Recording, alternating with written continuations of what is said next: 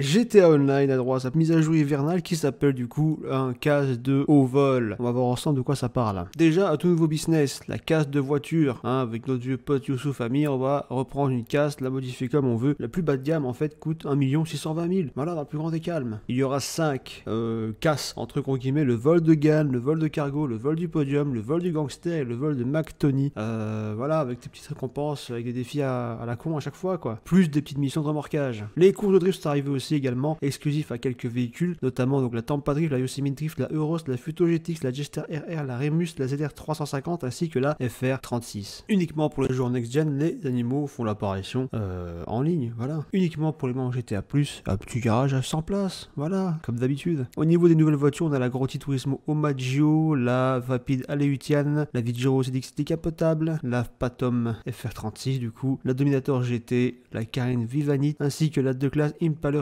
Et la Carine Asterop GZ. Voilà, voilà, donc vous aurez l'occasion de voir tous ces véhicules là en ligne et bien plus encore. évidemment, donc ici on a la, la police Riot, voilà, aussi également Hein, et toutes les voitures de police de manière assez générale et globale. Une nouvelle arme, hein, le Battle Rifle, euh, je sais pas trop ce que ça vaut, mais ça vaut 407 000 dollars. Voilà, ça picote un peu. Vous aurez aussi accès à 150 nouveaux cosmétiques, une nouvelle coupe de cheveux pour les hommes ainsi que pour les femmes et 32 nouveaux tatouages. Rien que ça. Euh, tout ça pour faire plaisir. J'espère que ça vous fait plaisir. N'hésitez pas à m'en parler dans les commentaires. Et puis voilà, on discutera. Je remercie du coup euh, Rockstar Actu de nous pondre des sites aussi bien foutus. Ce qui permet à des gens comme moi de résumer l'information en des termes très très simples et très très facilement. Voilà, voilà.